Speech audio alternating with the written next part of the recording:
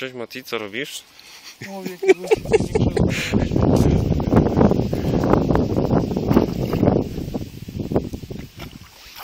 Mam ci go podebrać? Nie no, muszę ja. Wiesz, jak że muszę. Yy, wiesz co, może sobie skręcić te żyłki. Nie będę go. No widzisz co za bydle? Na wahadłówkę Goldfisha.